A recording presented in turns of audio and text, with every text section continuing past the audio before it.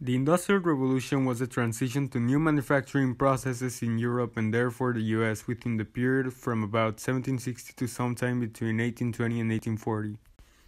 This transition included going from hand production methods to machines, new chemical manufacturing and iron production processes, the increasing use of steam power and water power, the advent of machine tools, and therefore the rise of the mechanized factory system.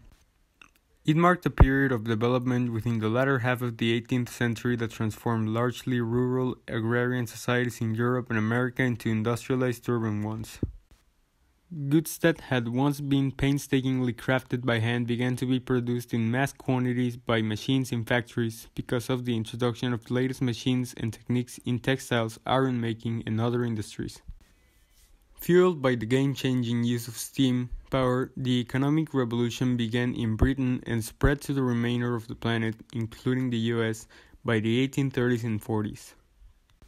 Modern historians often call this era the first technological revolution, to line it aside from a plain period of industrialization that happened from the late 19th century to early 20th century and saw rapid advances within the steel, electric, and automobile industries. In my opinion, the most important part of the Industrial Revolution is the technology developed. The whole great thing of the revolution was the advancement of the industry, which was caused by the advancements in technology. The spinning jenny increased wool mill's productivity, which meant more clothes manufactured. The steam engine was invented, which made factories more efficient and led to trains. The cotton gin made cotton production faster, which gave us more cotton products. The telegraph was invented, which led to the telephone. Modern roads and concrete were invented. Batteries were invented. Gas lights lit up the streets at night, and much more.